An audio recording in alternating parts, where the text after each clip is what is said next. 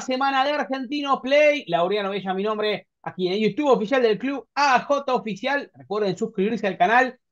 Semana post eliminación de Copa Libertadores, pre Copa de la Liga. Esto tiene una vorágine impresionante. Estamos justo en el receso. Hoy argentinos, martes 15, que además es el cumpleaños del bicho, este, en este caso un nuevo aniversario, así que por eso elegimos el día para salir.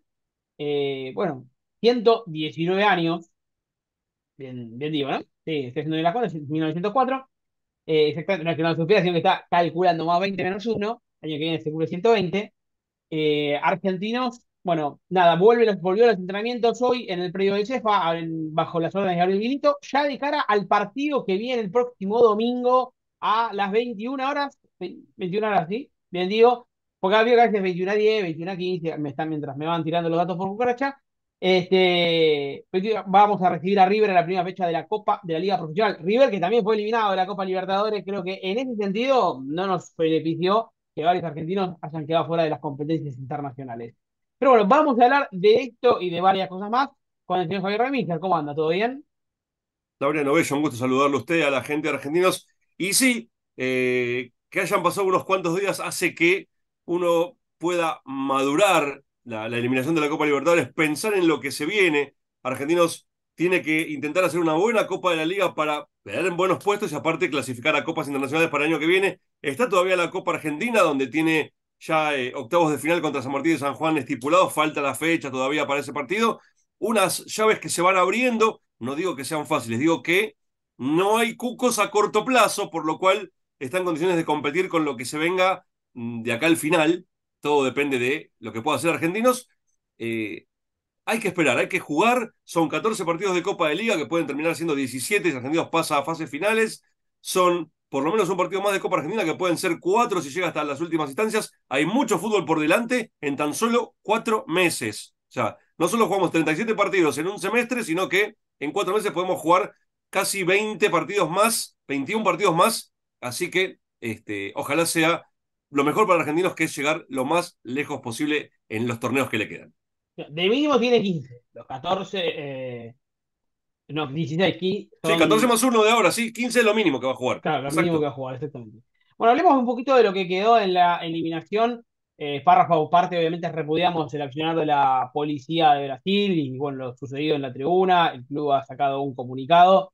Eh, lamentable eh, digamos que la familia, porque la familia, la gente que ha vivido argentinos haya sufrido lo que tuvo que sufrir, en este caso, eh, pero ya desde el comienzo del partido tiraba la primera gran sorpresa, Miguel Acosta al arco, debut absoluto para el chico nacido en la provincia de Misiones, y un argentino que, qué decir, hizo un partido que rozó a mi gusto de la perfección, 85 minutos sin que le pateen al arco estuvo el bicho, fue protagonista, tuvo la pelota, eh, tuvo obviamente alguna tajada a costa, no voy a ser malo obviamente con él, ni, le va a caer la responsabilidad de esto, pero bueno, un gol muy similar al de la ida, incluso, ¿eh? Este, un centro que viene desde el lado derecho de nuestra defensa, para que nuevamente Samuel Javier luego ponga en su momento cifras definitivas. Este, bueno, no definitivas 1-0 y luego ya eh, hecho en ataque, en este caso el partido, digamos, fue 2 a 0 para, para Fluminense, ya desvirtuado después del gol del primer gol. Pero creo que queda la frente en, algo en alto que Argentinos ha competido y ha estado a la altura, jugó un partidazo. Y pensar que del equipo que estábamos acostumbrados, digo, a ver a titulares, eh, había muchas bajas. O sea, no estaba, obviamente, Arias, no estaba Kevin, no estaba, porque, porque fue vendido a, Bélgica, no estaba Torren, eh, no estaba Ábalos. Eh, pero así Argentino y todo creo que estuvo recontra a la altura, no se pudo dar, esperemos que en la edición 2024, ¿por qué no soñar de volver a estar? Sí, a ver, tampoco estaba Vito lo que se desgarró estando en Brasil, se lesionó Lancilota en el calentamiento previo, eh, Alan no estaba en su plenitud física, lo mismo Montiel, fueron demasiadas cosas, Sí podemos decir que estuvo a la altura Gondú en los dos partidos que disputó, un chico que viene de Sarmiento de Jurín peleando otras cosas, tuvo que debutar nada más y nada menos que en Copa Libertadores y al segundo partido ir a jugar al Maracaná. Eh, no, es nada fácil. y ser el nuevo titular del equipo. Tal cual. Alan Lescano no tuvo minutos, estuvo en el banco de suplentes, pero no tuvo minutos todavía. Lo va a tener seguramente a partir del fin de semana en los próximos partidos. Eh, Argentinos está en una especie de, entre comillas, eh, borrón y cuenta nueva. Estuvo muy a la altura de la serie, la verdad que muy a la altura de la serie. Incluso hasta si usted me pregunta en el golpe a gol, que creo que Argentinos mereció un poquito mejor suerte y hasta casi le diría que pasar. Eh, por lo hecho, más que nada en el primer partido, en el primer tiempo, mereció mucho más clasificar en esta llave. Pero bueno, es Copa Libertadores y a veces no es tanto lo que jugás, sino la suerte que tenés. Así que nos quedamos en la puerta. Esperemos que la próxima tengamos un poco de más suerte. Eh, eh, estando a la altura yo me quedo tranquilo. Después es fútbol y puede pasar cualquier cosa. Exactamente. Déjame decirte que incluso el único equipo argentino que venció un brasileño por series de copas internacionales, aquí voy a incluir también la sudamericana, fue Estudiantes contra el Goiás.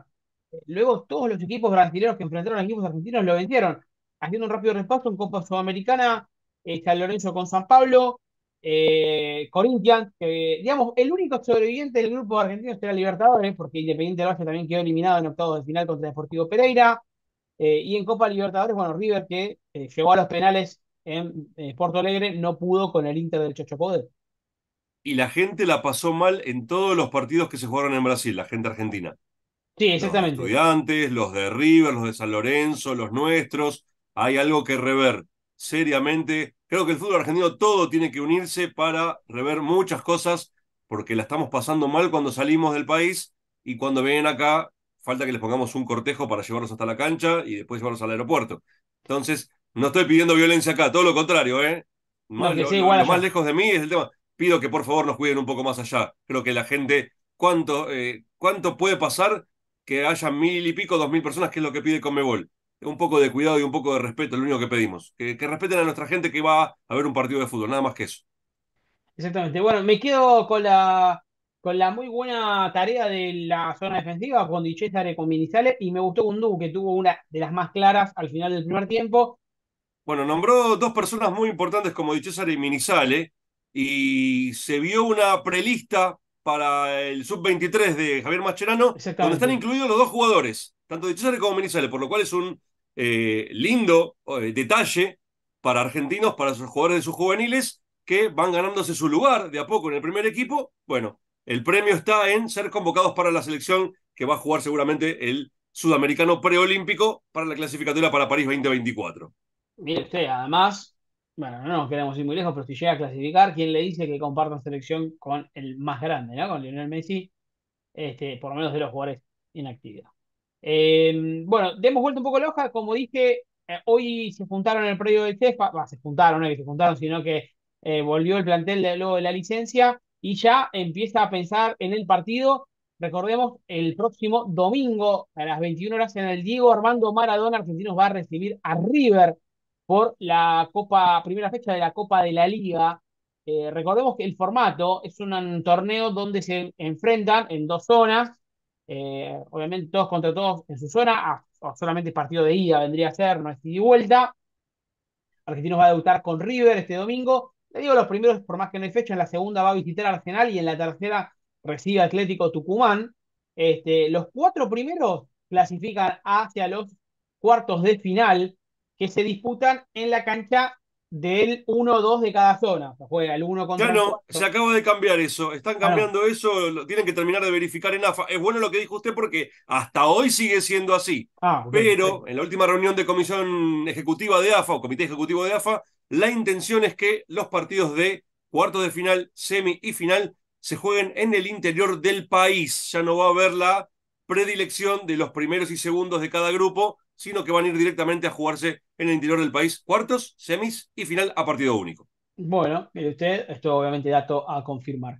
Recuerde que hasta la fecha, hasta la última de las fechas, hasta la 14, eh, digo, hay 14 equipos por zona, pero está la fecha 14 porque está el interzonal, digamos, En la fecha 7, correcto. Exactamente, a nosotros nos toca Platense, y que hasta la fecha 14 cuenta para lo que es el promedio del descenso, obviamente, por suerte, y gracias a Dios, a nosotros hoy por hoy no nos importa, pero sí para la clasificación a las copas. Argentinos está en la décima posición, es el último de los clasificados a la zona sudamericana este, a la fecha de hoy, pero a cinco puntos de Lanús, que es el último de los que entran en Libertadores. Y hay varios equipos en el medio, estudiantes, Defensa y Justicia, Boca, Rosario Central, Godoy Cruz y obviamente Argentinos con 40. Atrás los Y entendamos, entendamos que están Racing y Boca en Libertadores todavía, compiten entre ellos, por lo cual alguno va a estar en semifinales. Y del otro lado, en Sudamericana, están Estudiantes y Defensa y Justicia todavía disputándola. Que estos equipos, si tienen la fortuna de ganar alguna de estas dos copas internacionales, corren más cupos hacia abajo, por lo cual las chances se acrecientan desde ese lugar. Exactamente. Lo que es la reserva, el torneo empezó hoy. Eh, Argentino, bueno, jugó contra River en condición de visitante, pero esa información la va a tener la semana próxima, con la próxima semana argentina. Recuerden que el domingo nos va a ver con la previa del partido con River. Eh, vamos siguiendo con la información. Cuénteme qué tenemos de polideportivo. Bueno, a ver, tuvimos un fin de semana pasado con el acto electoral en el país, por lo cual no ha habido fútbol femenino de 11. Sí recordamos que eh, Argentinos jugó el fin de semana anterior eh, en el periodo de Defensa y Justicia, donde cayó 1 a 0, perdió el invicto eh, el equipo de Leandro Sequeira, no perdió así la punta, sigue puntero el equipo femenino con 19 puntos, Defensa tiene 18, Lima y San Miguel tienen 13 en los puestos de vanguardia, va a jugar el próximo sábado 15-30 horas en el predio del Cefa contra Deportivo Merlo para finalizar la primera rueda de la zona permanencia. Por el lado del futsal, el femenino la semana pasada cayó 0-4 de local contra Huracán, está jugando al cierre de esta edición contra Pinocho, tercero en las posiciones generales, primero Gimnasia 49, segundo Nueva Estrella 46, tercero Pinocho como le decía con 44, sexto Argentinos con 35 en lo que es el femenino de futsal, mientras que el masculino ganó un partidazo contra Pacífico en cancha de Nueva Estrella eh, el pasado viernes y se sigue acomodando los puestos de vanguardia, goles de Pablo Alonso, Nicolás Piqué, Alan Esper y Bruno Raeponieri. Argentinos está en el sexto lugar con 35 puntos, primero Glorias con 50, segundo Almafuerte 41, tercero River con 38. La próxima fecha, el fin de semana, Argentinos va a ser local de Franja de Oro que se encuentra en el puesto 12. Muy bien, perfecto. ¿Queda algo en el tintero? Déjeme dar el homenaje como corresponde a la memoria y al recuerdo de Rodolfo Fernández, un gran amigo de toda la familia de Argentinos Juniors que se nos fue eh, el pasado fin de semana, no este sino el anterior, lamentablemente el día 6 de agosto eh, por la mañana, y el pasado 12 cumplía sus 85 años, así que bueno, un abrazo al cielo para, para Rodolfo, un beso grande para toda su familia. No creo que haya personas en argentinos que no quiera a Rodolfo Fernández, por lo cual va a seguir siempre vigente en el, recuerdo de la gente de Argentinos Juniors. Exactamente, es programa dedicado eh, a su memoria bueno, obviamente hacemos extensivo el, saludo a su familia. Recuerden que nos vuelve a ver el domingo para la previa del partido con River con todos los datos que le tenemos acostumbrados. No se olviden suscribirse al canal y nos vemos pronto. Chao.